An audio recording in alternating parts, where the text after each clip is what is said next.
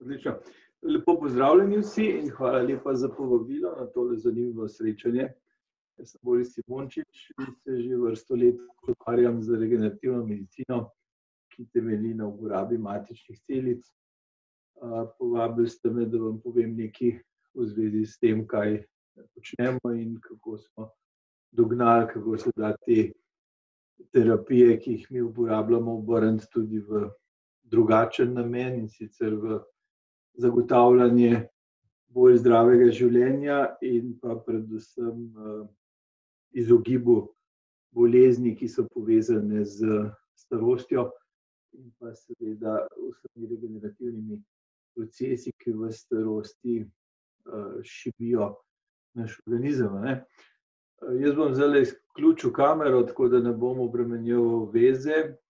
Če bo šlo, tole izgleda, da bo šlo. Da pokažem tole moje, tale moj prispevek. Je v redu, vidimo? ja, vidimo. Vidimo, v redu. torej matične celice so, kot vidite tukajle na, na tem zaslonu, prodrle v, ne samo v medicini, ampak tudi v javnost pred približno osmimi leti, ko sta Nobelovo nagrado za medicino dobila doktorja Janamaka in Gordon, ki sta prva v zgodovini uspela tako imenovane somatske celice, za ljudi, ki niste iz medicine, naj povem, da so to tkivne, naše navadne tkivne celice, sta jih uspela spremeniti v inducirane pluripotentne matične celice. Kaj to pomeni? To pomeni, da so to celice, ki so se sposobne spremeniti ali diferencirati, če uporabim tujko, v katerokoli drugo tkivno celico. In to je pravzaprav tisto, kar je osnovna definicija, kaj to matična celica je, ali pracelica. V tuji literaturi se te celice, za te celice uporabljajo tudi izrazi pluripotent stem cell, progenitor cells in tako naprej. Gre pa za to, da jim je skupno, pač to, ko sem povedal, telesnost, da se lahko spremenijo v katerikoli drugo tkivno celico, kar pa potem vsaj do teh dveh doktorjev, ki sta pokazala, da se tkivne celice lahko ponovno pretvorijo v matične, mi smo to v medicini smatrali, da to ne gre. In tukajle sem pripravil eno takšno, rekel, bolj preprosto tabelo, da se pogleda, kako matične celice ločimo po vrsti. so omnipotentne, pluripotentne, multipotentne, oligopotentne in unipotentne. In kot vidite, gre za to, kako visoko stopnjo zmožnosti imajo, če vzamemo samo omnipotentne. To so tiste, ki se lahko pretvorijo v katerokoli celico v našem organizmu ali celo v celoten organizem, in to so seveda embrionalne ali zarodne celice. Vendar v našem delu so te seveda popolnoma izpuščene zaradi etičnih razlogov. pustimo tudi praktičnih in zakonsko regulativnih.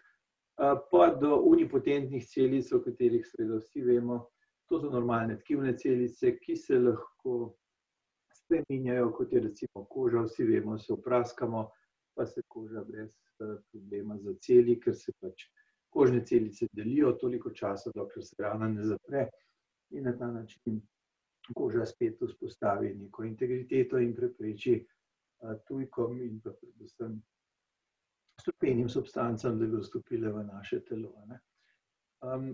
v medicini smo se na neki način zelo, zelo skoncentrirali na drugo tole vrsto imenovanih pluripotentnih celic, ki se lahko pretvorijo v katerokoli vrsto, drugo vrsto celic v organizmu, razen v embrionalne. Se pravi, iz njih ne moremo narediti novega organizma, lahko pa naredimo iz njih katerokoli drugo celico v telesu in ne da bi hvalil našo ali kakršnokoli drugo skupino, smo pridni, se učimo, raziskujemo in smo seveda sposobni vsak dan več tkivnih celic, teh pluripotentnih, vzgojiti v laboratoriju, kar nam potem seveda v kliniki neskončno olajša delo. Največji napredek smo trenutno dosegli pri tem, da znamo izdelovati celice kostnega tkiva, celice hrustančnega tkiva, kar pride zelo prav pri ortopedskih posegih, in premikamo meje, ki so bile še nekaj let na videz nedosegljive, kar se tiče obnove hrustanca v sklepih in podobne stvari. v našem delu je prišlo tudi do enih takšnih, saj veste, kako je pri znanosti, se zmeraj pojavljajo nova vprašanja, tudi novi odgovori. In smo ugotovili, da lahko takšne pluripotentne celice uporabimo v bistvu tudi za ohranjevanje vitalitete, odnosno vitalnosti človeškega telesa pozno v starost. In premaknemo tudi tukaj do zdaj nedosegljive meje. Mi vemo, da je človeško telo sestavljeno na tak način, da je nekako življenjska doba predvidena med sto in sto dvajsetimi leti. V medicini rečemo temu neživljenjska doba, ne niti pričakovana življenjska doba, to so bolj sociološke ali pa statistične, bom rekel, ocene. Mi govorimo o tako imenovani biološki uri. Torej vsaka celica v našem telesu ima svoj čas, življenjski čas določen in tudi celoten organizem kot tak in naša biološka ura, kot sem rekel, je nekje naravnana na sto dvajset. Skrajševanje te biološke ure je pa jasno vsem poznano, a ne. Vsaka bolezen, vsak stres, vsako neko negativno dogajanje v našem in okrog našega telesa zmanjšuje razpoložljiv čas v tej biološki uri. In zato imamo trenutno realno sliko, da v modernem svetu lahko pričakujemo pri moški in ženski populaciji pričakovano življenjsko dobo nekje okrog triinosemdeset do petinosemdeset let. Saj ni to pomembno leto gor, leto dol, ampak vemo tudi, da se je ta pričakovana življenjska doba v zadnjih dvajsetih, petindvajsetih letih povzpela skoraj za deset let. Se pravi, nekje na, na prehodu tega tisočletja je bila pričakovana življenjska doba še nekje okrog štiriinsedemdeset do sedeminsedemdeset let, za moške je nekoliko nižja kot za ženske. Ampak skoraj za deset let v zadnjih dvajsetih se je to spremenilo. Pustimo, zakaj to ni zdaj namen tega našega srečanja. Pač pa, če pogledamo majhen, mogoče se zdi na začetek tale slikica zelo komplicirana, pa ni. torej matične celice v glavnem gostujejo v kostnem tkivu, in sicer v, v kostnem mozgu. In če pogledamo zgornji del slike, bomo lahko razbrali, da del matičnih celic, ki nastaja v kostnem mozgu, se spreminja v tako imenovane hematopoetske ali krvne, krvotvorne matične celice. Od tega je zelo pomembna ta skupina povsem zgoraj, kjer so te limfociti, celice ubijalke, limfoidne progenitor celice, iz katerih vse ta, te zadeve nastajajo, ki so pravzaprav nosilci našega imunskega sistema in omogočajo obrambo našega mehanizma pred boleznimi, kot je recimo zdajšnji trenutno sarsov virus, ki povzroča covid-devetnajst ali podobne bolezni. In to so celice, ki so pravzaprav v prvi bojni liniji zaščite našega telesa proti podobnim boleznim in pa potem na desni strani zgoraj cel niz spektra krvotvornih celic, ki omogočajo seveda zdravo življenje. V spodnjem delu slike pa lahko vidimo, kako te celice ravno tako se spreminjajo v tako imenovane tkivne celice, se pravi, iz njih nastajajo razna tkiva, od maščobnega pa vse naprej do kakršnegakoli drugega tkiva. Mi smo v zadnjem času ugotovili, da imamo v telesu približno štiri mesta, področja, kjer so te celice na neki način shranjene v rezervi. Torej ne samo v kostnem mozgu, ampak tudi v maščobnem tkivu okrog pasu in na stegnih, na predvsem na zunanji strani stegen. potem v zobni pulpi, kar je presenetljivo. Mi smo celo na naši kliniki naredili eno raziskavo, kjer smo dokazali, da je v kočnikih shranjenih tudi do 120 tisoč takšnih vrhunskih pluripotentnih matičnih celic, ki so v bistvu pripravljene, da vskočijo v naš krvni sistem, v, v organizem, v primeru neke potrebe, poškodbe, infekcije, kakorkoli. Se pravi, v stanju pripravljenosti, da lahko takoj pomagajo. seveda tukaj ne, ne gre spregledati, da je pa poleg debelega črevesa seveda najpomembnejši vir takih kvalitetnih pluripotentnih celic pa popkovnična kri in popkovnica novorojenčkov. skratka, to so nekje področja, našega zelo intenzivnega proučevanja, kako lahko pridemo do teh celic, ki nam lahko potem pomagajo v naših regenerativnih terapijah in pa tudi v, v projektu odnosno sistemu, ki smo ga razvili pri nas, o katerem bom danes večkrat govoril. In sicer mi smo, to tehnologijo imenovali po kratko Bob ali best of blood.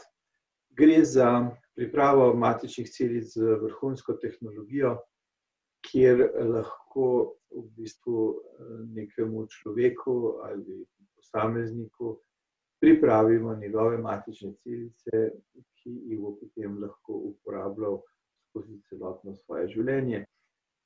In sicer postopek, dela na tak način, da moramo najprej selektor pridobiti matične celice, jih primerno obdelati in jih potem uskladiščiti, zato imamo kriobanke, tako imenovane. Torej to so posebne ustanove, pri nas v Sloveniji imamo takšno biobanko, kjer v tekočem dušiku hranimo te celice, in jih lahko potem odmrznemo, ko se pojavi potreba po aplikaciji takšnih celic. In v našem sistemu, temu Bob, gre za to, da matične celice pridobimo v tako imenovani aktivni dobi, se pravi v dvajsetih do petdesetih letih starosti, in jih potem shranimo in jih bomo uporabili v, v starem odnosno starejšem ali starostnem obdobju človeka. ne samo, da smo ugotovili, tudi dokazali, ne, ne samo na naši kliniki, pač pa v svetovnem merilu je teh strokovnih znanstvenih člankov, kolikor hočete, objavljenih, kjer smo dokazali, da preprečujejo nastanek starostjo povezanih bolezni, kot so recimo infarkt, možganska kapa, maligna obolenja, avtoimune bolezni in podobno. In pa seveda na tak način podprejo daljše in bolj zdravo življenje, o čemer bom zdajle nekaj povedal.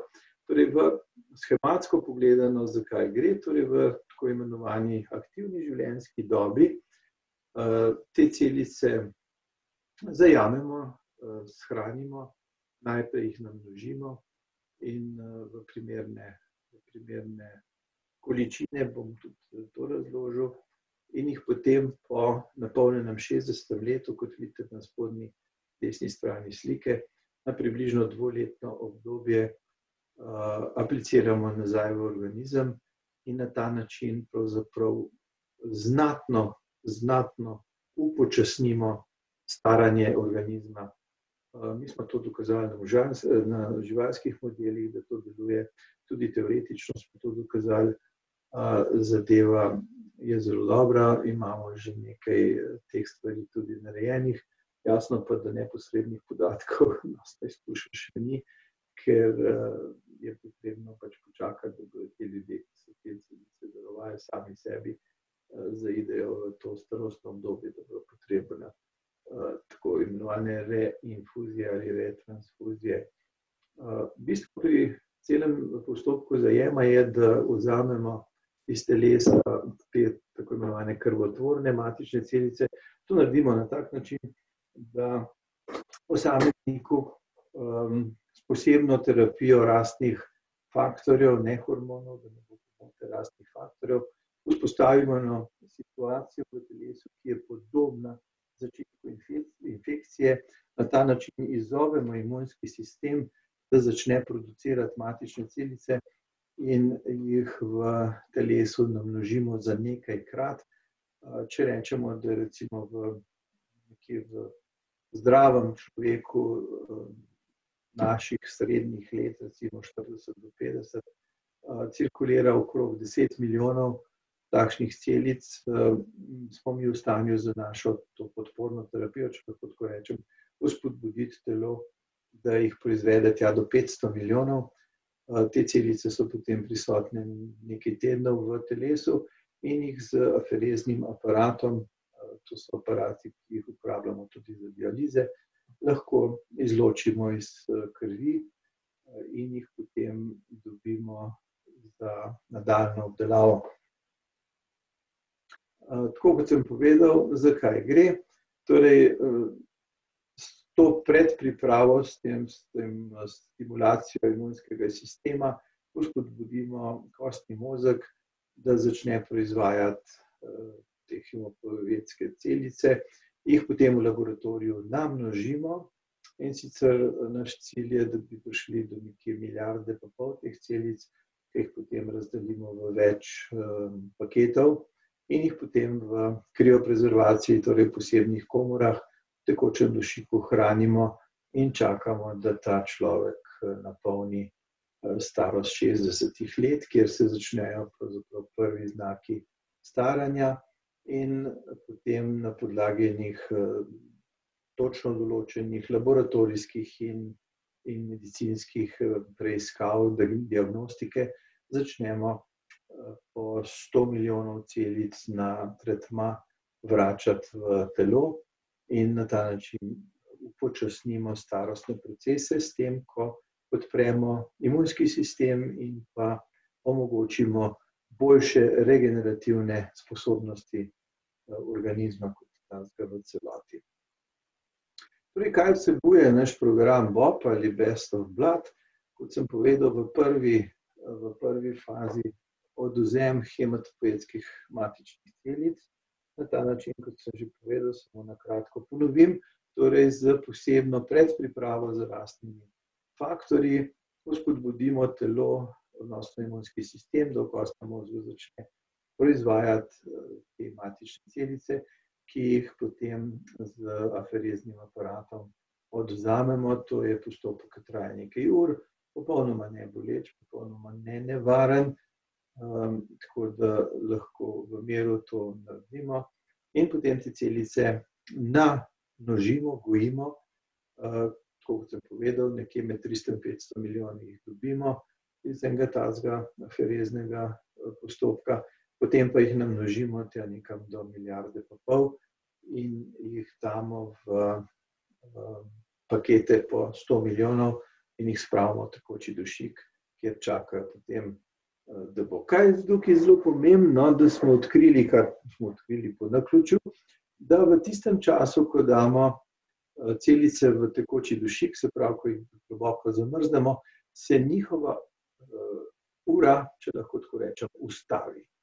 Torej, večja, ko je razlika med v času od tistega dneva, ko smo celice zamrznili, do tistega dneva, ko jih ponovno odmrznemo in uporabimo, večja je razlika v starosti, biološki starosti tistih celic in konkretne starosti lastnika. Torej, če bi vzeli mene, če bi jaz dal pri tridesetih letih te celice, pa jih nisem, ker seveda o tem nič vedeli, ampak če bi dal pri svojih tridesetih letih te celice v tekoči dušik, zmrzniti, bi danes, ko sem napolnil šestdeset let, dobil te celice nazaj in one bi bile de facto fiziološko stare komaj trideset. Se pravi, trideset let mlajše moje lastne celice bi jaz dobil, če bi to bilo, ampak na žalost tega ni. redno spremljanje, kaj to pomeni, mi smo razvili še eno posebno metodo, ki rečemo health passport, in sicer tule gre za, bom pokazal naprej, za en cel sistem laboratorijskih in kliničnih preiskav, kako lahko določimo dejansko biološko starost posameznika in se potem na podlagi tega odločimo, kdaj, kolikokrat in koliko teh celic bo dobil. in na ta način kot četrto fazo lahko načrtovano dodajamo transfuzije z temi hematopoetskimi matičnimi celicami in se tudi odločamo seveda za število. Pri tem je izredno pomembno, da smo seveda predvideli tudi to, da lahko posameznik v tem procesu staranja tudi resno zboli, zato imamo na voljo nekaj paketov teh matičnih celic, ki jih lahko uporabimo za regenerativno zdravljenje, za podporo organizma, kar smo zdaj tudi v tem času COVID-a s pridom uporabili in rešili kar nekaj življenj. To ni zdaj tema današnjega predavanja, ampak ugotovili smo, da te celice izredno kvalitetno podprejo imunski sistem, kar je pravzaprav pri, pri COVID-u osnova razpada vsega skupaj. Mi smo uspeli ljudi, ki so bili resno bolani, podpreti imunski sistem njihov in prebroditi krizo, da so preživeli citokinski vihar, da so dočakali čas treh tednov po infekciji, ko smo dokazali, pravzaprav to so naši kolegi na Kitajskem ugotovili, da se virus približno po dvajsetih dnevih neha, samodejno neha razmnoževati v telesu in da je infekcija konec. Seveda, če ima posameznik srečo, da ta tri tedne preživi. Takole tole izgleda v, v praksi, če lahko pogledamo. Na levi strani zgoraj vidimo tak aferezni aparat s seveda vso potrebno opremo in visoko šolanimi ljudmi, ki so sposobni takšne postopke voditi. Kandidat udobno leži na stolu in drugega, kot da ima priključen tako imenovani zunanji venski obtok. Zanj ni nekih drugih težav, razen to, da mora pač dve do tri ure pri miru ležati na tem stolu, dokler afereza poteka. In tule v desni spodnji sliki lahko vidite, kako izgleda takale vrečka s približno štiristo petdeset milijoni, kakor je tale gospodična predelala. Izkazalo se da je zelo zdrava, zelo čila in je njen imunski sistem, odnosno njen kostni mozeg naredil zares obilo število matičnih celic, ki smo jih mi lahko pridobili z afereznim postopkom. Kot že rečeno, te celice potem še v laboratoriju dodatno obdelamo.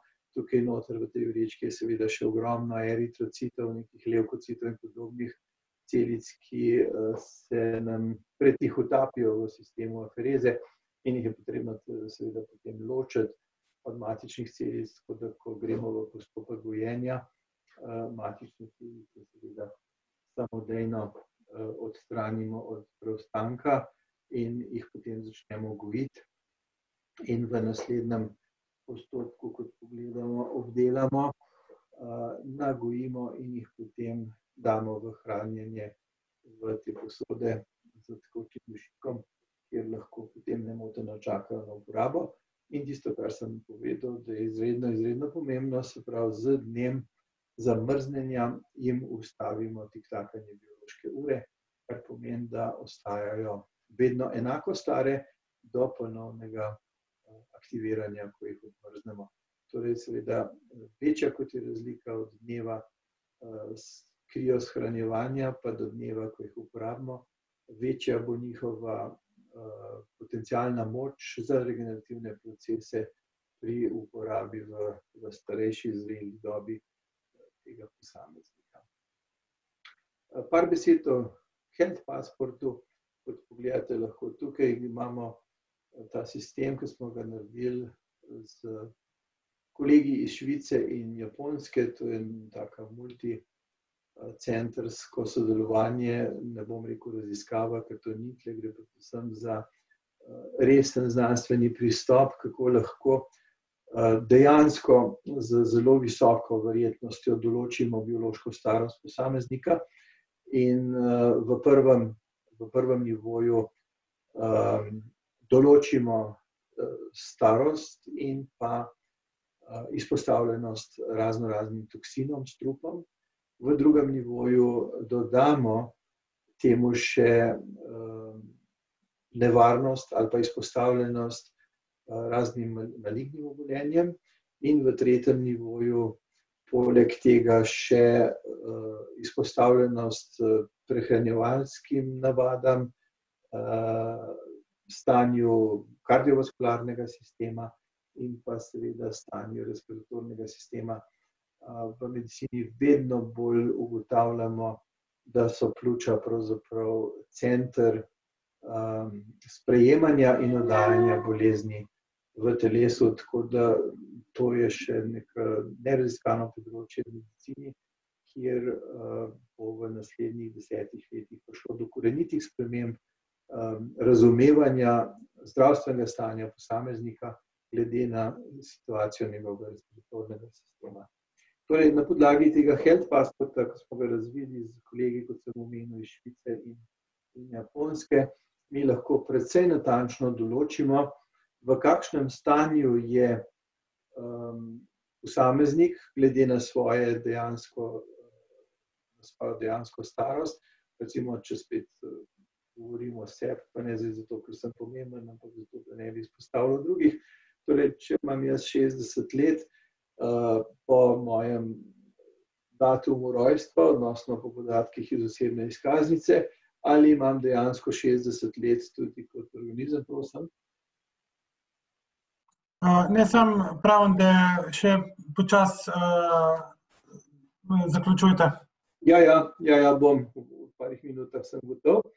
Uh, torej, da ugotovimo, kakšna je dejansko biološka starost posameznika, ali odgovarja njegovim zares letom ali ne.